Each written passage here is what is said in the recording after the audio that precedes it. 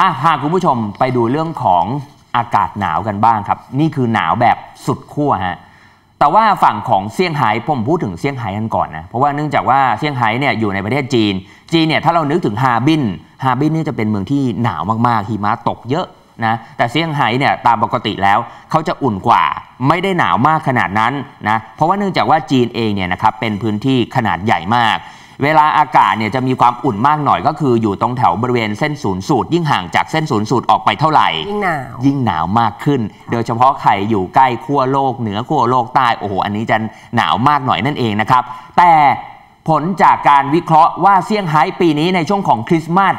จะหนาวกว่าทุกปีนั่นเองฮะ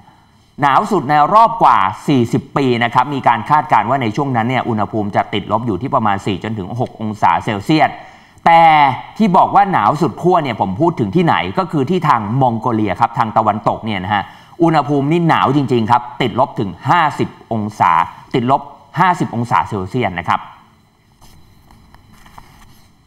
สำนักงานอุตุนิยมวิทยาและการเฝ้าติดตามสิ่งแวดล้อมแห่งชาติมองโกเลียได้รายงานครับว่าเขตย่อยซูอุนโกวี ซุม จังหวัดอุปทางตะวันตกของมองโกเลีย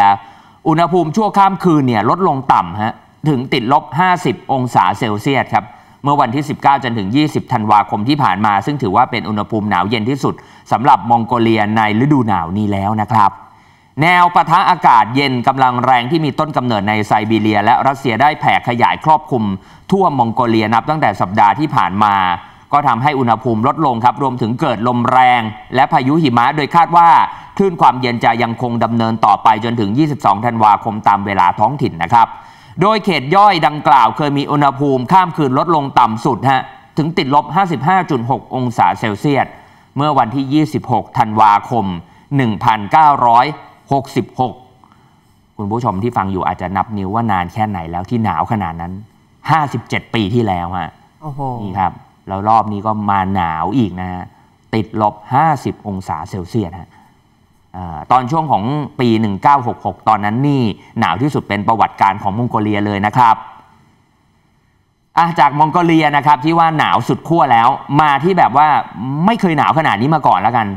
ก็คือทางฝั่งของเซี่ยงไฮ้ของทางจีนครับ ออกประกาศเตือนภัยประชาชนให้เตรียมพร้อม รับมือกับอากาศหนาวเย็นจัดและลมแรงหลังจากที่คลื่นความเย็น พัดเข้าสู่พื้นที่โดยคาดว่าอุณหภูมิจะลดลงถึงติดลบ 4 จนถึง 6 องศาเซลเซียสฮะในย่านชานเมืองเซี่ยงไฮ้และอาจจะเผชิญ กับอุณหภูมิที่ต่ำกว่า 0 องศาเซลเซียสตลอดทั้งวัน ไปจนถึงช่วงของคริสต์มาส 25 ธันวาคมนี้นะครับ ถือเป็นช่วงเวลาอากาศหนาวเย็นในเดือนธันวาคมในนครเซี่ยงไฮ้ที่ไม่เคยเกิดขึ้นมาก่อนในช่วงเวลา 40 ปีที่ผ่านมาครับ ที่บอกว่าหนาวจริงๆเพราะว่าเนื่องจากว่า คือเขาบอกว่าศูนย์องศาเนี่ยจะได้เห็นแบบตลอดทั้งวัน แม้ตอนช่วงกลางวันก็ตามโอ้โหเพราะว่าปกติเนี่ยเวลาสมมติหนาวมากๆ ติดลบบางทีพอช่วงกลางวัน ก็อาจจะพุ่งขึ้นไปอยู่ที่ประมาณ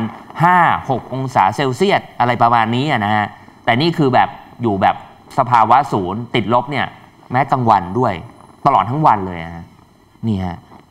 คือตามปกติแล้วเนี่ยนะครับถ้าพูดถึงนครเซี่ยงไฮ้มักไม่ค่อยจะเผชิญกับสภาพอากาศหนาวเย็นจัดมากนัก โดยหากเทียบกับพื้นที่ทางตอนเหนือของจีนเนี่ยนะครับเซี่ยงไฮ้ก็จะมีสภาพอุ่นกว่ามาก โดยในช่วงของ2จนถึง3สัปดาห์ที่ผ่านมา พื้นที่อื่น ๆ ของจีนเผชิญกับอากาศหนาวเย็นจัดเป็นประวัติการครับเป็นผลมาจากคลื่นอากาศหนาวที่มาจากไซบีเรียที่แผ่ปกคลุม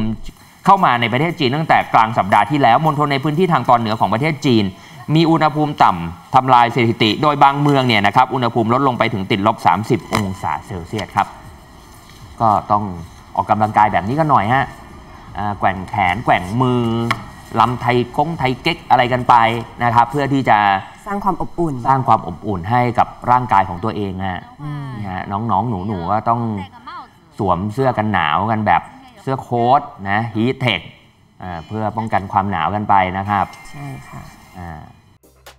ขอบคุณสำหรับการติดตามรับชม TNN News ข่าวเช้านะครับ อย่าลืมกด Subscribe กดไลค์กดแชร์ กดกระดิ่งเตือนในทุกช่องทางของ TNN ช่อง 16 นะครับ คุณผู้ชมจะไม่พลาดชมรายการสด และคลิปวิดีโอที่น่าสนใจมากมายครับ